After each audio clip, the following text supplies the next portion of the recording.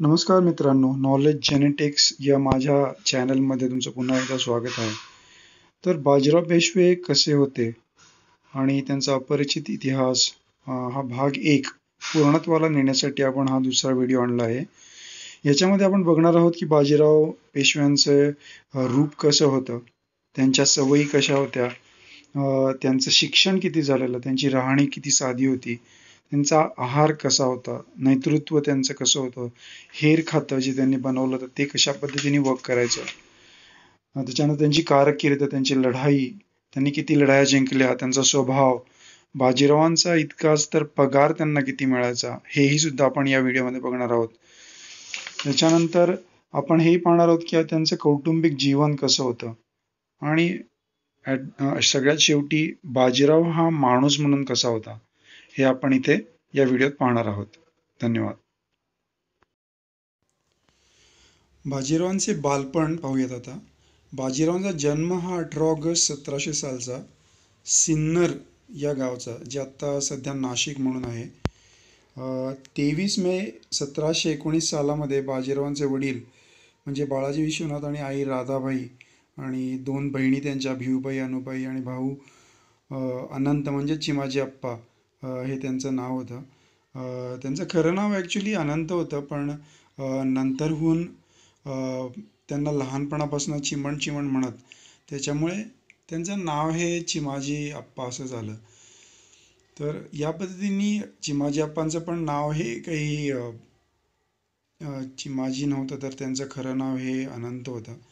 अशा पद्धतीने ही त्यांची पूर्ण कुटुंब हे सासवडला स्थलांतरित झाले आणि तिथे त्यांनी एक नवा वाडा बांधला तो पाहूया.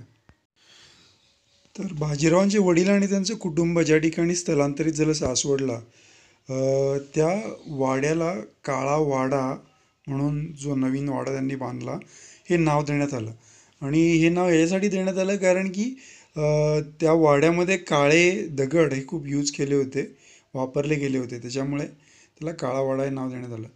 तर बघूयात आता की बाजीरावांचं जे मूळ नाव होतं ते त्यांचं नाव होतं विश्वासराव. तर नंतरहून त्यांच्या आजोबांनी त्यांचं नाव हे बदलून बाजी म्हणून ठेवण्यात आलं. तर बाजी म्हणजे कोण? तर जीवाची बाजी लावणारा आणि भले भले मोठे पराक्रम गाजून युद्ध जिंकणारा असा हा वीर म्हणून त्यांच्या आजोबांनी त्यांचं नाव जे आहे ते बाजी म्हणून असं ठेवण्यात आलं. त्याच्यानंतर सतराशे सोळा साली बाजीराव पेशवे त्यांच्या वडिलांबरोबर दमाजी थोरातांच्या एका लढाईमध्ये सामील होते. असा इति अशी त्याची नोंद आहे. आणि या लढाईमध्ये बाजीराव पेशवे हे सुद्धा त्याच्या वडिलांबरोबर लढले. काही प्रमाणात. त्यांनी छोट्या मोठ्या लढाया आणि अशा पद्धतीची राजकारणही वडिलांबरोबर या त्यांच्या कारकिर्दीत लहानपणापासूनच पाहिली. आणि जेव्हा या दमाजी थोरातांच्या लढाईत बाळाजी विश्वनाथ म्हणजे बाळाजी बाजीरावांच्या पे बाजीराव पेशव्यांच्या वडिलांना अटक झाली तेव्हा त्या अटकेमध्ये सतराशे सोळामध्ये बाजीराव पेशवेसुद्धा होते. आणि ह्या अटकेमध्ये ते गूळ पोहे खाऊन आपल्या वडिलांबरोबर त्या अटकेमध्ये दमाजी थोरातांनी त्यांना जी अटक केली होती त्या दमाजी थोरांच्या त्या लढाईच्या अटकेमध्ये ते तिथे राहिले. म्हणजे किती कौतुकास्पद आणि ही गोष्ट आहे बघा की हा वीर लहानपणापासून आपल्या वडिलांबरोबर युद्धामध्ये जात आहे आणि हे सगळं राजकारण बघत आहे. म्हणजे याची बाळकडू जे आहेत ते त्यांना लहानपणापासूनच मिळत होते. आणि हे पहा की हे ही गोष्ट बघण्यासारखी आहे इथे की बाजीरावांचं त्यावेळेसचं वय जे होतं ते फक्त सोळा वर्षाचं होतं जेव्हा ते अटकेत होते त्यांच्या वडिलांबरोबर. दमाजी थोरातांच्या युद्धा युद्धामध्ये. म्हणजे पहा की हा मोठा योद्धा अगदी लहानपणापासूनच राजकारण आणि रणकारणामध्ये तरबेज होण्यासाठी उत्सुक होता. म्हणजे ते म्हणतात ना की आपल्याला एखादी गोष्ट जर आवडत असेल तर ती आपण अगदी लहानपणापासूनच आत्मसात करायला लागतो. त्या पद्धतीचं हे बाजीराव सराव बाजीराव साहेबांचं हे जे गुण आहेत ते आपल्याला इथे बघायला मिळतात. म्हणजे व वयाच्या सोळाव्या वर्षापासूनच. आता पाहूया बाजीराव दिसायला कसे होते. दौलत म्हणजे राज्यातील माणसे. हे तत्व थोरल्या छत्रपतींनंतर म्हणजे शिवाजी महाराजांनंतर संभाजी महाराजांनंतर आणि शाहू महाराजांनंतर ज्यांना पटले असेल किंवा जे उमगले असेल ते बाजीराव पेशव्यांना. लष्करी सामर्थ्य धडाडीचे सेनानी म्हणून थोरले बाजीराव फौजेचे अत्यंत आवडते होते.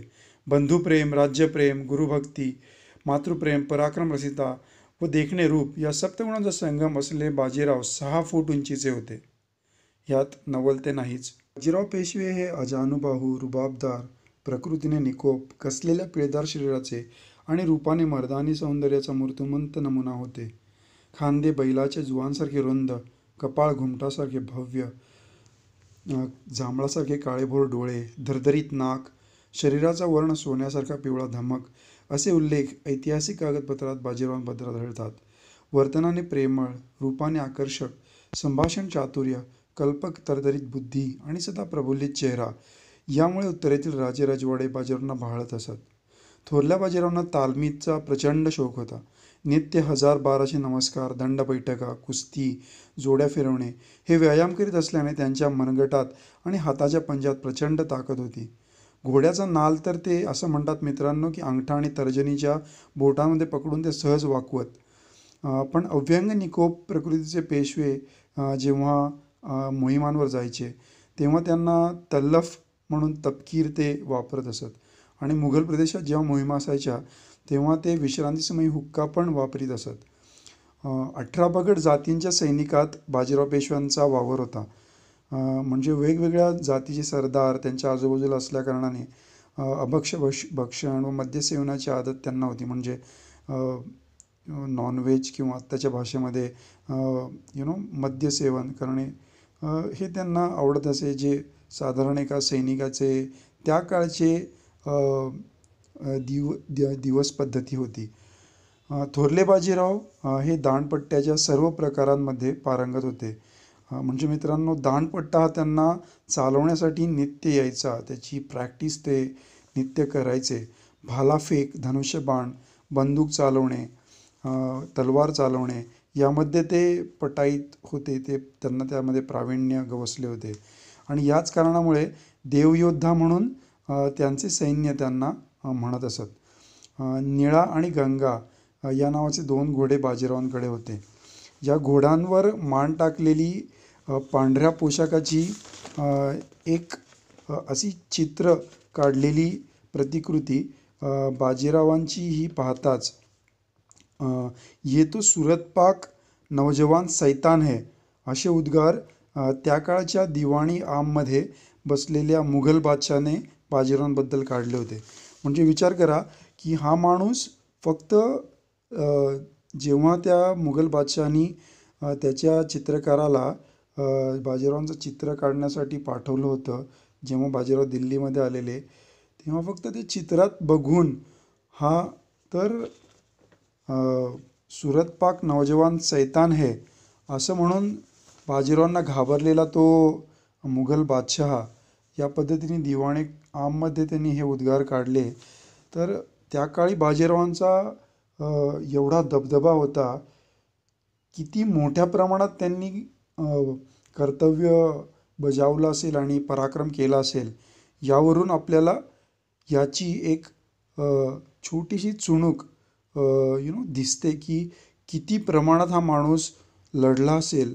त्या काळामध्ये पूर्ण भारतभर महाराष्ट्रातून पूर्ण प्रवास करून ज्या काळी काही दळणवळणाची साधनं नव्हती त्या काळी अडीच अडीच लाख मैल एवढा त्यांचा पूर्ण त्यांच्या जीवनाच्या प्रवासामध्ये केलेला हा नोंदीचा टप्पा आपल्याला ऐतिहासिक कागदपत्रांमध्ये सापडतो.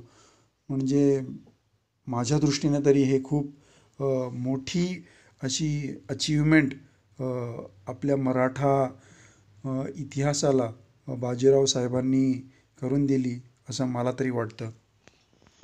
व्हिडिओमधील अज्ञात असलेली माहिती आवडल्यास व्हिडिओ लाईक आणि शेअर जरूर करा. धन्यवाद.